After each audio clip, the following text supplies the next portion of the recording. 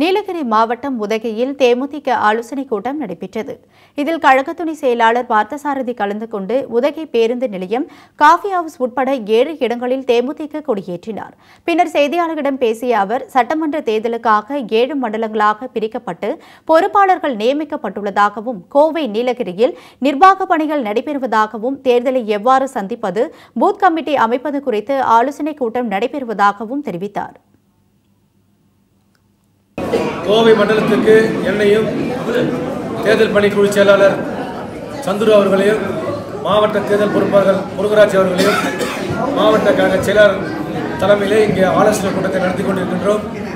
நிர்வாகிகளுடைய கூட்டத்தை எப்படி சரி செய்வது பூத்து கமிட்டி அமைப்பது புதிதாக உறுப்பினர் சேர்ப்பது வாக்காளர்கள் எல்லாம் தேமுதிகாக எப்படி வாக்களிப்பது என்பதெல்லாம் பற்றி நாங்கள் ஆலோசனை நடத்தியிருக்கின்றோம்.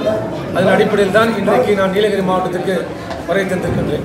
சார் என்னை பொறுத்தவரை தமிழ்நாடு முழுவதும் தேமுதிக நல்ல எழுச்சியாக தொண்டர்கள் உற்சாகத்தோடு வேலை செய்து கொண்டிருக்கிறார்கள்.